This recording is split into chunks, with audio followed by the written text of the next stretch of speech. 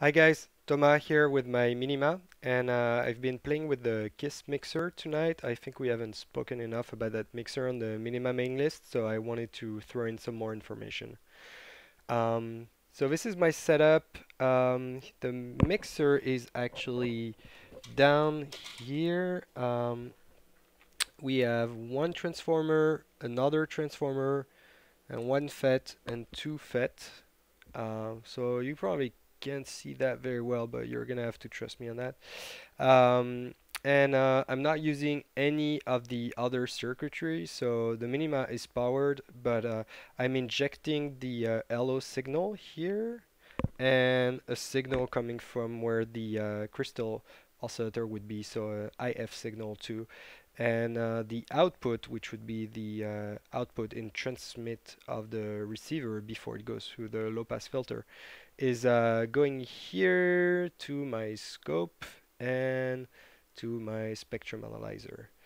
And to inject the signal I'm using a function generator uh, and so the first channel here on the left is the uh, IF so I'm injecting 20 megahertz at minus 20 dBm and the other channel is the um, SI570 channel, so 34 megahertz, 10 dBm. That's about what I'm getting when I uh, measure the strength of the the power of the signal uh, in in circuit when I have the the rest of the minima working.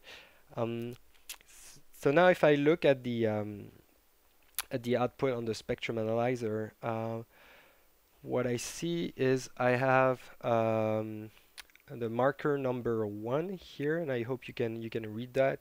Uh, so let's start with marker marker number three, uh, 34 megahertz minus 8 dBm. So that's our local oscillator um, leaking in the output. Um, we injected 10 dB and we have minus 8, so that's 18 dB suppression. Um, not sure if that's great or not, but um, uh, we would like to see a little bit less of that. Um, the actual uh, output is the signal at 14 dB, uh, 14 megahertz. Like the that is the signal we're interested in, and uh, that signal is at minus 38 dB, which is pretty low. Uh, we should be getting about 10 dBm at the output of the minima, so we're we're still too low. Maybe the signals I'm injecting are not strong enough. Um, but I don't I don't think so. So uh, it's something I'm trying to figure out is why the output is not a little bit stronger. The other signals here, uh, marker number two is 20 megahertz. That's our um, IF leaking out through to the RF port. And uh, marker number four at 54 megahertz is the other product of the uh, IF and the LO.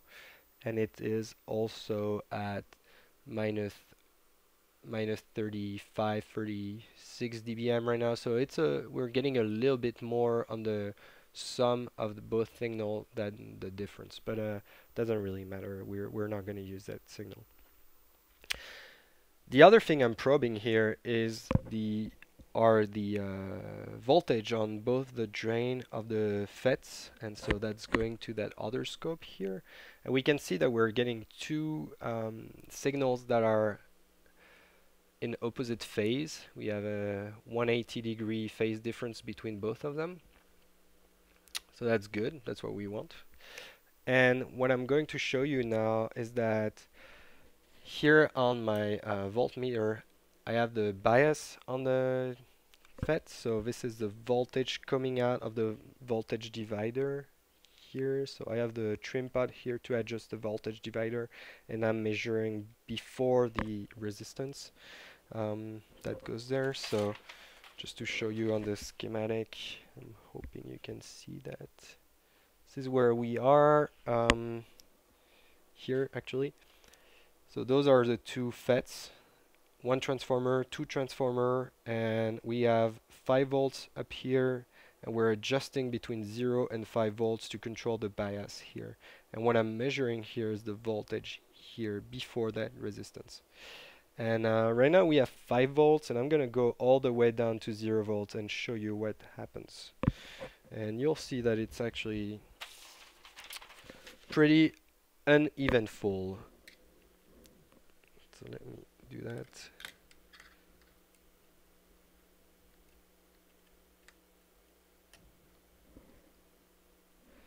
So I'm starting to go down. Um, so we're looking for the point where we get the best rejection of the uh, LO signal on the output, but I don't see any difference in the LO signal ever. So I'm at 3.5 volts now. That's about where we would want to be, 3.2, 3.3. And going down, going down, going down. Um, still no difference.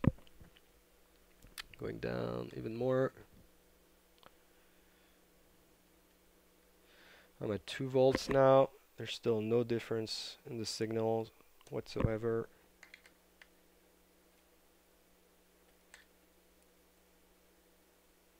And